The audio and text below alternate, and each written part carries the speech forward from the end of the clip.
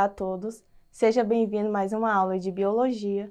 Eu sou a professora Williane e hoje nós vamos estar estudando sobre o desenvolvimento embrionário. Então, o que seria o desenvolvimento embrionário? O que seria a embriologia? A embriologia ela é a ciência que estuda o desenvolvimento dos animais desde a fecundação até a formação do embrião. Desde o início, quando começa a fecundação, quando tem o acontecimento né, da relação sexual, até a fecundação e todo o desenvolvimento até a criança. Então, tudo que se inicia no momento da fertilização do óvulo, que a partir de então se passará a ser chamado de zigoto. O que seria o zigoto? O zigoto, ele é o portador do material genético, do espermatozoide ou do óvulo. Ele se divide por mitose até formar um indivíduo. Então, a, fertil a fertilização. O que seria a fertilização? Relembrando o que você já, já tem assistido, é, estudado. Então, a fertilização, ele é o processo pelo qual os gametas masculino e feminino se fundem. É, somente 1% dos espermatozoides é, eles são depositados na vagina e penetram o colo do útero, no qual eles podem sobreviver por muitas horas. Então, desde lá do início, quando o espermatozoide percorreu né, o canal vaginal e o óvulo foi fecundado, então a, começa a acontecer o processo. Então, vai lá pelas trompas uterinas, chegando ao colo do útero, onde será implantado e fertilizado. Então, aí vai acontecer, iniciar o desenvolvimento embrionário. Então, ao longo do crescimento embrionário, alguns genes são ativados e outros são desativados. Dessa maneira, surge a diferenciação celular ou seja, tipos de células com formatos e funções distintos, que organizam e funções que organizam os diversos tecidos. Posteriormente formarão os órgãos. Na espécie humana, as principais fases do desenvolvimento embrionário são a clivagem ou segmentação, glastulação e organogênese. O primeiro estágio da clivagem é a mórula. Ele é um maciço celular originado entre o terceiro e o quarto dia, após a fecundação. É, na segunda e última etapa, ocorre a blástula, onde as células delimitam uma cavidade interna chamada de bastulocele, cheio de um líquido produzido pelas próprias células. Então, eu trouxe uma imagem que nós podemos observar o desenvolvimento, desde lá do zigoto e todo o processo de segmentação, que é onde vai começar, as células vai começar a se desenvolver, se dividir, se transformando em mórula e assim em blástula. Até a fase de blástulas, as células embrionárias são chamadas de células troncos que pode se originar todos os diferentes tipos de células. Então, as células troncos, ela tem a função de se transformar em outras células com diferentes funções.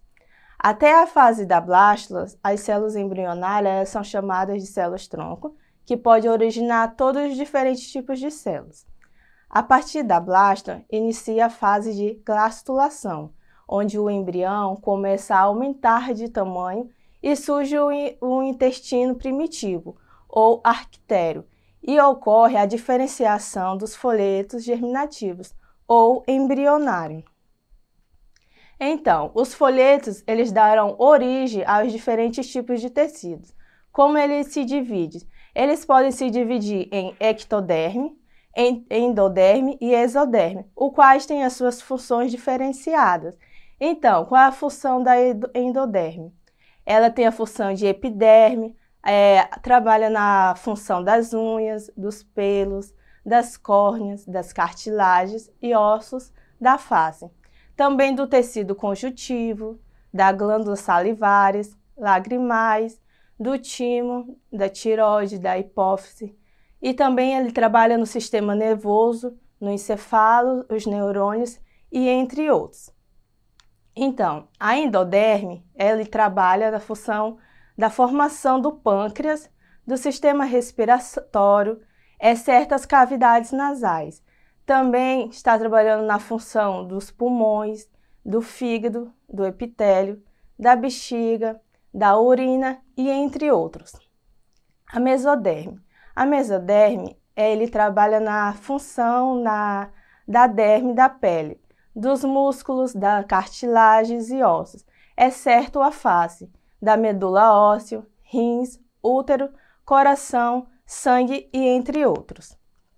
Então, os folhetos embrionários estão trabalhando em várias funções, né? Trabalhando junto a endoderme, a mesoderme e a endoderme, cada um com suas funções. Então, nós podemos observar nesta imagem que podemos ver é, a endoderme, a mesoderme e a endoderme, com cores fantasias, que não é essa cor, é a cor fantasia para que a gente possa diferenciar. Então, ao final da glastulação, o embrião ele é chamado de glástula. A última fase do desenvolvimento embrionário é a organogênese, onde ocorre a diferenciação dos tecidos e órgãos.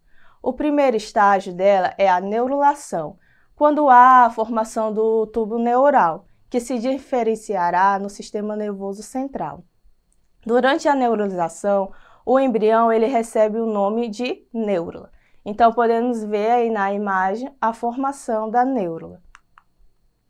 A organogênese, ela termina até a oitava semana da gestação, por volta de 56 dias, desde o período eh, do embrião, que mede cerca de 3 centímetros de comprimento. Depois da, mona, da nona semana até o nascimento, o indivíduo em formação passa a ser chamado de feto. O nascimento ele ocorre em média durante 38 semanas da gestação. Anexo embrionário. Então, na organogênese, de alguns cordados, a partir dos folhetos embrionários, eles são finalizadas as estruturas dos anexos embrionários. Essas são estruturas que não fazem parte do embrião, mas que possuem a função de auxiliar no desenvolvimento. Então, esses anexos embrionários, eles começam a ser formados no final da glastulação, mas só são finalizados e desempenham sua função a partir da organogênese é, vesícula vitelina ou saco vitelino.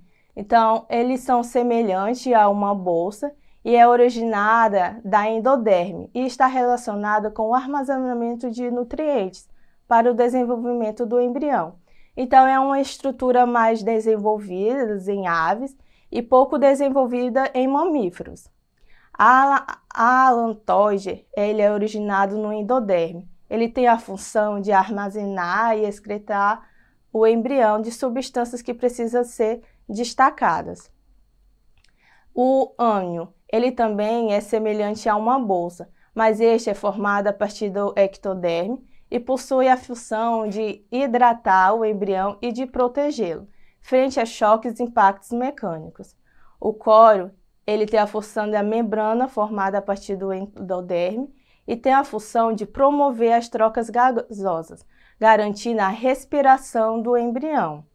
E a placenta, que é a que nós mais conhecemos né, dos seres humanos. Eles estão presentes apenas em alguns mamíferos, chamados de placentários. Ela é responsável por todas as funções dos outros anexos. Por isso, nos mamíferos, os demais anexos eles são reduzidos, atrofiados. Então, Vamos começar é, ao exercitando da aula de hoje. Espero que vocês tenham compreendido alguma coisa do conteúdo. Então, vamos ler junto o exercitando. Então, na questão 1. Na etapa de segmentação ou clivagem, ocorre a formação da mórula.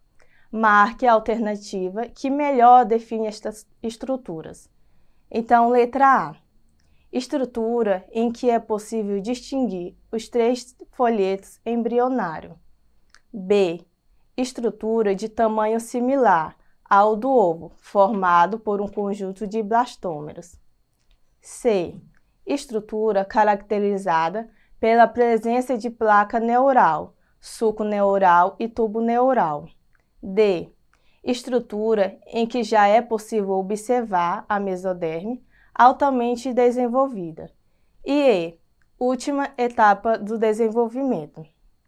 Então, novamente, na etapa de segmentação ou clivagem ocorre a formação da mólula. Marque a alternativa que melhor define essa estrutura. Então, qual você marcaria? Qual alternativa mais define essa estrutura? Então, muito bem. Então, na etapa da segmentação, o que melhor define né, é a estrutura de tamanho similar ao do ovo. É formada por um conjunto de bastrômeros. Então, a mórula é uma estrutura formada por um aglomerado maciço de células que se assemelha a uma mórula. É a parte né, da célula que ela está bem dividida, é bem parecida mesmo com uma mórula. Então vamos ler a segunda questão. A fase da organogênese é uma fase muito importante, pois é nela que os folhetos embrionários darão origem. Letra A, aos tecidos e órgãos. Letra B, aos blastômeros. Letra C, ao celoma, letra D, ao bastóporo e ao zigoto.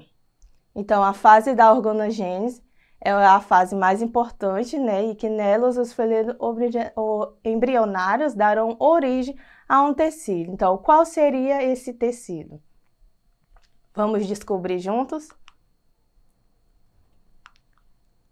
Então, essa fase ela dá origem aos tecidos e aos órgãos. Então, nos tecidos e órgãos, eles são formados a partir de três folhetos embrionários.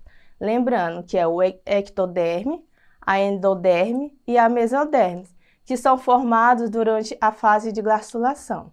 Então é isso, espero que vocês tenham gostado da aula. Acesse a plataforma Eduque, lá vai conter essa aula e outras aulas de biologia e de outras disciplinas. Até mais!